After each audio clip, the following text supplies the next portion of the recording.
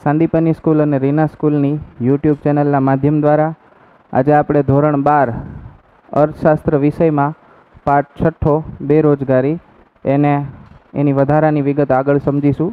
આજનો આપણો ટોપિક પ્રચ્છન્ન બેરોજગારીનો છે. આની પહેલાં પણ આપણે બેરોજગારીના પ્રકાર ભણ્યા છીએ.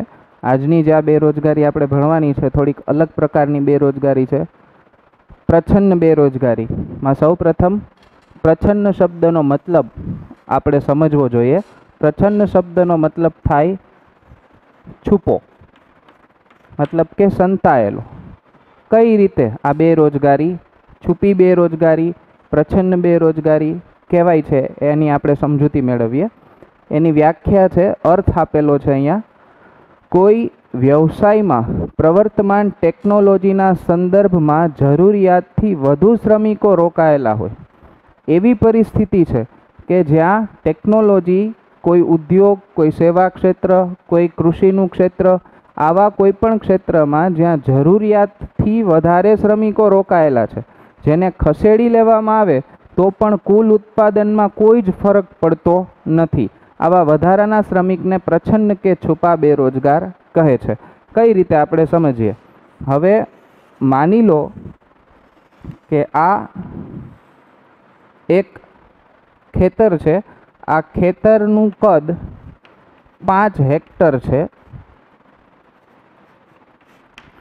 પાંચ હેક્ટરના આ ખેતરની અંદર સામાન્ય રીતે આપણે સમજીએ કે આ પાંચ હેક્ટરના ખેતરની અંદર વધુમાં વધુ દસ વ્યક્તિઓની જરૂર છે. પાંચ હેક્ટરના ખેતરમાં વ્યવસ્થિત કામ કરવા માટે સારું કામ કરવા માટે, ચોકસાઈ ભરેલું કામ કરવા માટે દસ વ્યક્તિઓની જરૂર છે. પરંતુ પરિસ્થિતિ એવી છે કે એક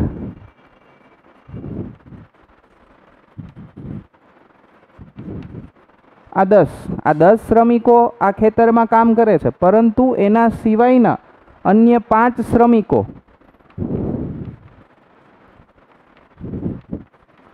જેમની પાસે અન્ય કોઈ કામ ન હોય, તેઓ આ જ ખેતીના ક્ષેત્રમાં આ જ પાંચ હેક્ટરના ખેતરની અંદર શ્રમ કાર્ય માટે, મજૂરી કાર્ય માટે આવે છે. હવે બહુ સામાન્ય વિગત છે કે જે ખેતરમાં પૂરતું ઉત્પાદન કરવા માટે દસ વ્યક્તિઓ પૂરતી છે. દસ વ્યક્તિ સિવાયના વ્યક્તિની જરૂર નથી. છતાં પણ અન્ય ક્ષેત્રમાં રોજગારી ન હોવાથી અન્ય પાંચ શ્રમિકો એક, બે, ત્રણ, ચાર અને પાંચ. આ અગિયાર, બાર, તેર, ચૌદ અને પંદર નંબરના શ્રમિકો જે પાંચ વધારાના શ્રમિકો છે, એ પણ આ ખેતરની અંદર આવી અને પોતાનું શ્રમ આપશે. તો આ પાંચ શ્રમિકોના લીધે પાંચ હેક્ટરના ખેતરમાં ઉત્પાદન ન તો વધી જવાનું છે, ન તો ઉત્પાદન ઘટી જવાનું છે. માનો કે પાંચ હેક્ટરના ખેતરની અંદર બસો પચાસ ટન અનાજ ઉગવાનું હશે, તો પંદર શ્રમિકોની હાજરીમાં પણ અનાજનું ઉત્પાદન બસો ને પચાસ ટન જ રહેશે. એમાં કોઈ જ ફેરફાર થશે નહીં. મતલબ કે આ પાંચ શ્રમિકો જે વધારાના છે, જે શ્રમ કાર્ય માટે ન છૂટકે આ ખેતરમાં કામ કરવા માટે જોડાયેલા છે, એની અસર આ દસ જણાની રોજગારી ઉપર પણ પડશે. આ લોકોને પણ પૂરતી રોજગારી નહીં મળે, આ લોકોને પણ પૂરતી રોજગારી નહીં મળે, ન તો ઉત્પાદનમાં કોઈ જ વધારો નોંધાશે. એનો મતલબ કે આ પાંચ શ્રમિકો વધારાના વ્યક્તિઓ છે, દેખીતી રીતે કામ કરે છે, પરંતુ શ્રમ કાર્યમાં એનો કોઈ જ હિસ્સો નથી. આપણને કામ કરતા દેખાય છે, પ્રવૃત્તિ કરતા લાગે છે, પરંતુ જો આવા શ્રમિકોને અહીંથી ખસેડી લેવામાં આવે તો ઉત્પાદન ન તો વધવાનું છે, ન તો ઉત્પાદન ઘટવાનું છે. એટલે કે આ પાંચ શ્રમિકો દેખીતી રીતે કામ કરતા હોવા છતાં પણ એમનો રોજગારીમાં કોઈ જ હિસ્સો નથી. તેથી આવા શ્રમિકો આપણા માટે પ્રછન્ન બેરોજગાર અથવા તો છુપા બેરોજગાર ગણાશે. ખાસ કરીને અતિ વસ્તીવાળા જ્યાં ઉત્પાદનના સાધન અને ટેકનિક બધી જ સુવિધાઓ ઉપલબ્ધ હોય, એવા અતિવસ્તીવાળા યાદ રાખજો, આ પ્રકારની પરિસ્થિતિ ક્યાં જોવા મળે છે? પ્રછન્ન બેરોજગારની. તો કે આ પરિસ્થિતિ જ્યાં અતિવસ્તીવાળો દેશ હોય, વસ્તીનું પ્રમાણ વધારે હોય, એવા દેશ અને એમાં પણ કૃષિ આધારિત પ્રવૃત્તિઓ જે કરતા હોય, એવા ક્ષેત્રોમાં શ્રમની સીમાંત ઉત્પાદકતા શૂન્ય હોય છે. એટલે કે આવા કૃષિના ક્ષેત્રમાં જોડાયેલા શ્રમિકોની ઉત્પાદકતા.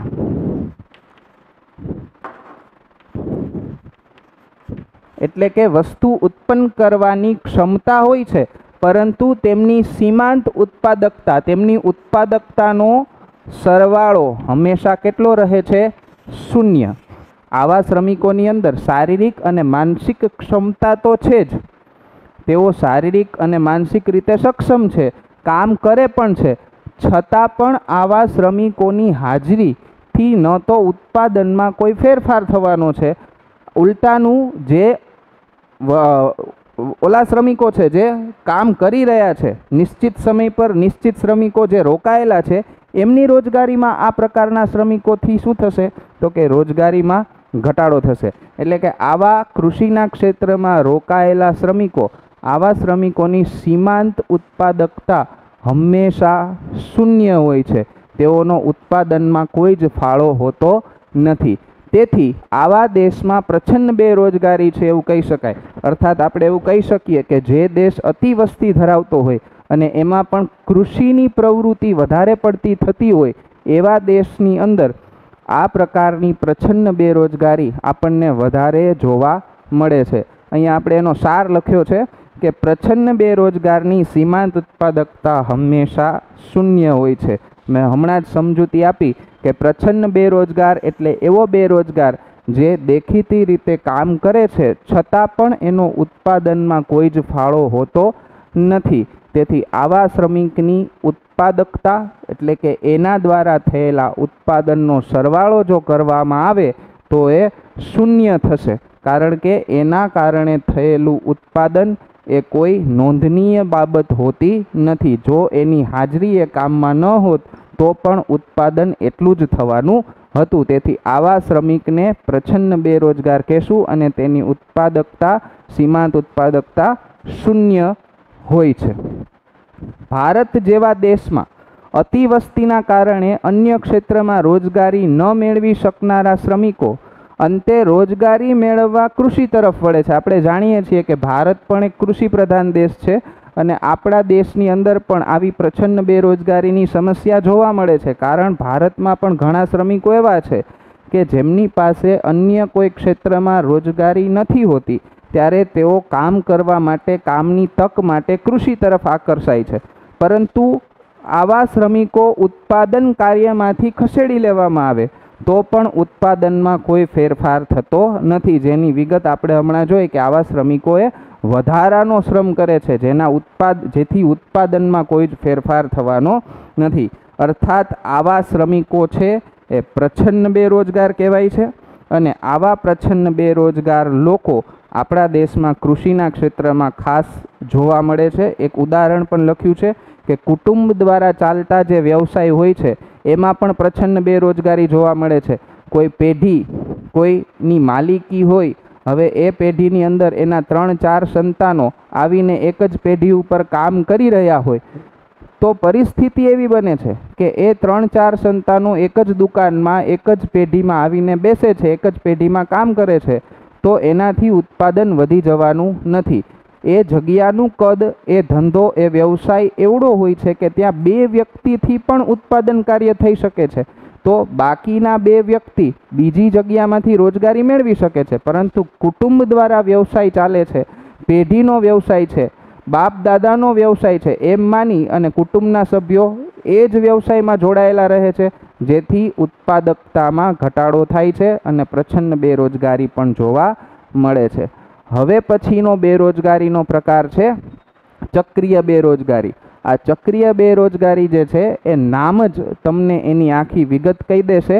એની વ્યાખ્યા એનો અર્થ ખૂબ સહેલો છે કે બજારમાં આવતા તેજી મંદીની સ્થિતિને આધારે સર્જાતી બેરોજગારી એટલે ચક્રીય બેરોજગારી. ખૂબ જ સરળ છે કે જ્યારે બજારમાં તેજીનું વાતાવરણ આવે છે, વસ્તુઓની માંગમાં વધારો થાય છે, વસ્તુઓનું વેચાણ વધે છે, ઉત્પાદન વધે છે અને આ પ્રકારની તેજીની પરિસ્થિતિમાં લોકો પાસે વધારે પડતી રોજગારી હોય છે. પરંતુ જેવી વસ્તુની માંગમાં ઘટાડો થાય છે, ઉત્પાદન ઘટે છે, ઉત્પાદન ઘટતા લોકોની રોજગારી ઘટે છે, જેથી મંદીનું વાતાવરણ આવે છે ફરીથી તેજી, ફરીથી એ જ પ્રકારે મંદી, ફરીથી એ જ પ્રકારે તેજી અને ફરીથી પાછું મંદી તરફ આખું વાતાવરણ વળે છે. આમ તેજી મંદીના ચક્રાકાર ફેરફારોને કારણે જે બેરોજગારી સર્જાય છે, એવી બેરોજગારીને આપણે ચક્રીય બેરોજગારી તરીકે ઓળખીશું.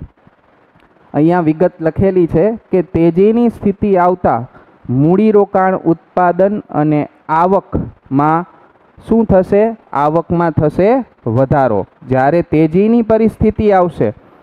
તેજીની પરિસ્થિતિ આવે એટલે આપણે સ્વાભાવિક જાણીએ છીએ કે તેજીની પરિસ્થિતિ આવતાની સાથે જ મૂડીરોકાણમાં વધારો થાય, ઉત્પાદનમાં વધારો થાય, લોકોની આવકમાં વધારો થાય. આમ સમગ્ર વાતાવરણ તેજી ભર્યું એટલે કે રોજગારીની સાપેક્ષ સ્થિતિમાં, રોજગારી તરફની સ્થિતિમાં જોવા મળે છે. એનાથી ઉલટું મંદીની સ્થિતિમાં વસ્તુની અસરકારક માંગમાં ઘટાડો થાય છે અને તેથી ઉત્પાદનમાં ઘટાડો થાય છે. આપણે જાણીએ છીએ કે જ્યારે બજારમાં ચીજ વસ્તુઓની માંગમાં ઘટાડો થાય છે, ત્યારે એ ચીજ વસ્તુઓને આધારિત ઉદ્યોગો એ વસ્તુનું ઉત્પાદન ઘટાડશે. ઉત્પાદન ઘટતા શ્રમિકોની ઓછી જરૂરિયાત રહેશે, એટલે કદાચ અમુક શ્રમિકોની રોજગારી ઘટે એવું બને, એટલે કે મંદીની સ્થિતિમાં માંગ ઘટતા લોકોની રોજગારીમાં ઘટાડો થાય છે.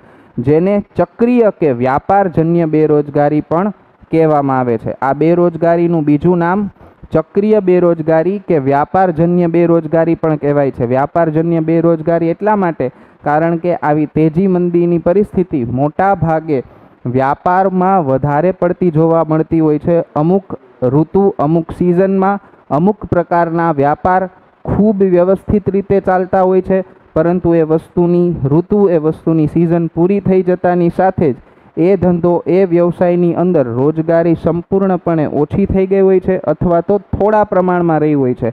તેથી આવા બેરોજગારીના પ્રકારને વ્યાપારજન્ય બેરોજગારીના નામથી પણ ઓળખવામાં આવે છે. અહીંયા ઉદાહરણ લખ્યું છે, દાખલા તરીકે ઓગણત્રીસ ત્રીસમાં અમેરિકામાં આવેલી મહામંદી, કે અમેરિકા એક વૈશ્વિક બજાર છે એક મહાસત્તા હોવાને કારણે ત્યાં આવેલી મંદી, ત્યાંના ધંધા, રોજગારો પર પડેલી અસર ને કારણે અન્ય દેશના ઉદ્યોગોને પણ ખૂબ અસર થઈ.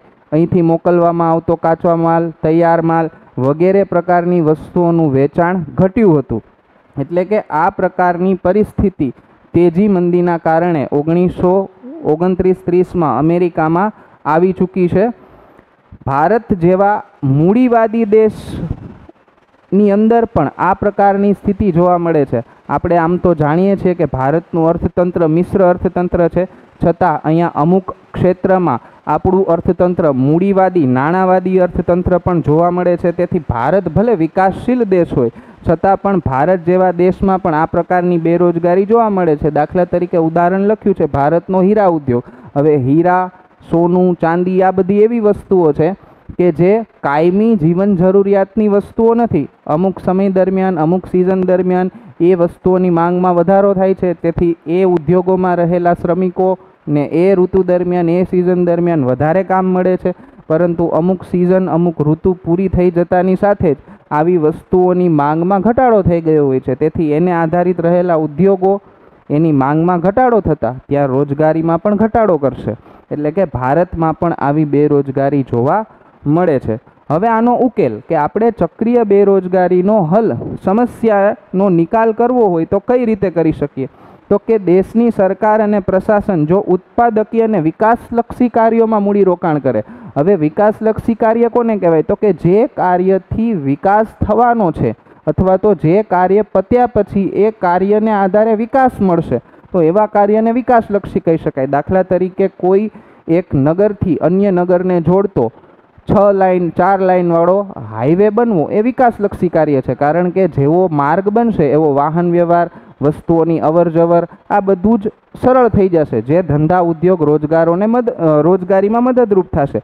હવે આનાથી ફાયદો એ થશે કે કોઈ એક જગ્યાએ વિકાસલક્ષી કામનું કામ થશે, માની લ્યો કે કોઈ એક જગ્યાએ નહેર બનશે, તો નહેર બનવાથી કૃષિને ફાયદો થશે, એટલે કે વિકાસનું કામ પણ થયું. હવે નહેર બનાવવા માટે જેટલા મજૂરો કામ કરી રહ્યા છે, એને એમાં રોજગારી પણ મળશે. એટલે કે આવા ઉત્પાદકીય અને વિકાસલક્ષી કાર્યોમાં જો મૂડીરોકાણ કરવામાં આવે, તો આવા કામ કરતાં કરતાં લોકોને રોજગારી મળી રહેશે. હવે લોકોને રોજગારી મળશે, એટલે લોકોની આવકોમાં શું થશે? વધારો થશે. અને જેવી લોકોની આવક વધશે એટલે વસ્તુની માંગમાં શું કરશે? લોકો વધારો કરશે અને જેવી માંગ વધશે એટલે મંદીની સ્થિતિમાંથી ફરીથી તેજીની સ્થિતિ તરફ આવી શકાશે. તો આ હતા પ્રચ્છન્ન બેરોજગારી અને ચક્રીય બેરોજગારી. આજના બે પ્રકાર જેને આપણે લખી અને વિગતવાર વાંચી અને તૈયાર કરવાના છે. હવે પછીની વિગત આપણે નેક્સ્ટ વિડીયોમાં ભણશું.